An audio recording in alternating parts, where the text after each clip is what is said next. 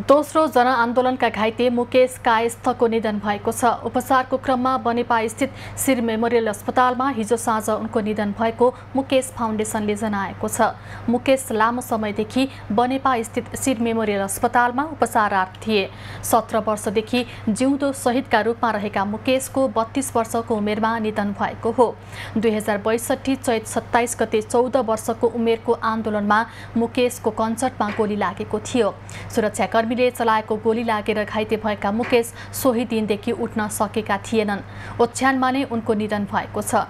सरकारले मुकेशको उपचार खर्च पन्ध्र हजार मासिक भत्ता एक सुसारेको लागि छ हजार दुई सय भत्ता र एक नर्स नियमित उपलब्ध गराउँदै आएको थियो। कायस्थको आजै अन्त्येष्टि गरिँदैछ।